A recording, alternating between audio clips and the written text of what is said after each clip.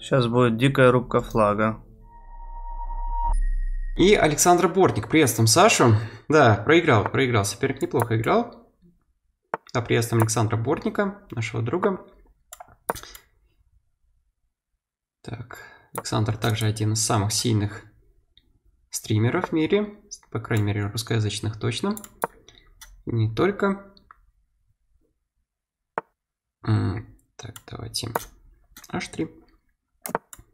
Маркировочка. Наверное, куни 4. Где-то можно получить. Ну ладно. Можно побить?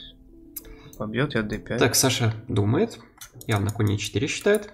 Куни 4 d5, разгрузка. Ну, ничего страшного, там куни 5 хотя бы. Так, ну ладно, давайте куни e5. Не знаю, чем это закончится. Так, ферзь f3 как-то. Ферзь f3, можно ферзь d4. Ферзь f3 давайте. Давайте так, конь f6 идея. Пешку не отдаю. Или на b6 лучше. c3, слон 3 хочу прогнать. Да, слон f4 был, конечно, разумный ход, но там на b2 пешка висела. Нужен ли мне ферзь вообще на d5? На b6 лучше? Я цепляюсь к пешке. То есть грозила конь f6, поэтому я должен был что-то делать. Я ушел просто. Так, слон 3, ферзь g6. Да, ферзь g6 хорошая позиция очень для ферзя. Очень хорошая позиция для ферзя. Ферзь g6 хочу. Конь g3 хороший ход. Немножко, конечно, странный ход, с учетом того, что конь стоял на e4, неплохо. Но ферзь g6, там очень просто классная позиция для ферзя. А здесь я не даю, как бы. Так, конь h5 есть ход интересный. А, конь h5, слон t5. Так, может слон e3. Конь h5, король h8. Конь f5. Ладья e8, наверное. Так, так. Ладно, давайте ладья e1 пока. А может и можно было поменяться. Конь h5 уже будут на следующем ходу играть. Беру ладью, чтобы слон f8 был ход. Не хочу ферзь g3. Ладья e1 он сыграл, чтобы где-то e6 иметь ход, слон d5, например, e6. Так, Александр очень долго думает, это хорошо. Сюда. Ну, тут ферзь g3. Это мне выгодно. Пун g7. Как-никак проседает. Так, слон g5 можно сыграть. Ай-яй-яй. Надо было все-таки слон f8. Я что-то про конь f4 забыл ход. Конечно, там пешка висит у меня. Пешку жалко четко. Так, ладья e4 есть ход. Да, слон f8, конечно, грамотнее было. Не знаю, зачем я пошел. Так, ладно, сюда вначале. Ладью по четвертому ряду. Хочу слон g5 там как-то атаковать. Атаковать Александра. Чтобы на ферзь b2 ладья e1 сразу полезно подвести. Мне кажется, мощно может быть получится атака. Я, конечно, пан или пропал. Делаю ставочку на атаку. Если атака не пройдет, то, то будет печаль. Но есть хороший шанс, мне кажется, что пройдет. Так, сюда, если c3. Ферзя в защиту включим на всякий случай. Ой, я поле d3. точно, точно. ё зачем я поле? Поле отдал.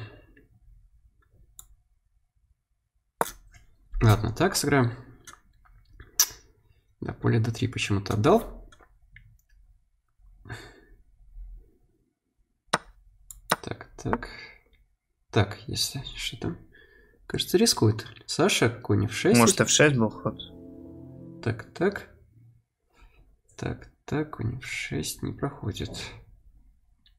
У меня времени нет. Так, ладья 4.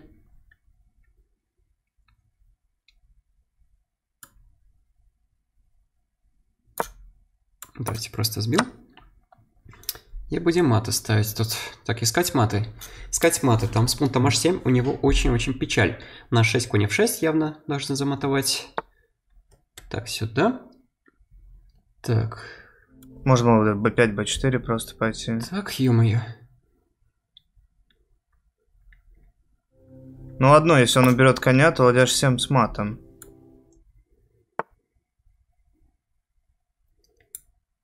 Так, так. Так, 30 секунд.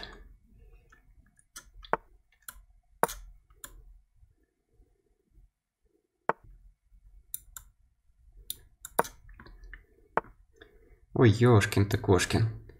Ёшкин ты кошкин, что я зевнул? Сейчас будет дикая рубка флага.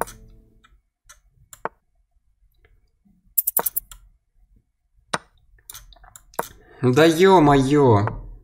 Ну как это же так? Ну уж ё-моё, ну...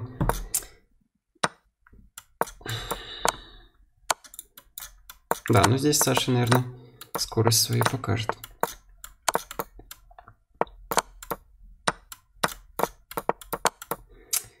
Ой, друзья, ну как же так? Сегодня пока рвем всех.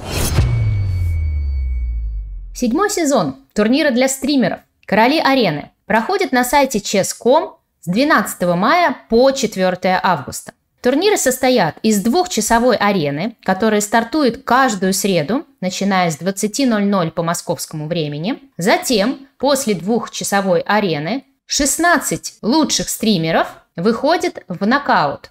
Нокаут стартует через 5 минут после арены, и трансляция нокаута ведется на каналах chess.com.ru.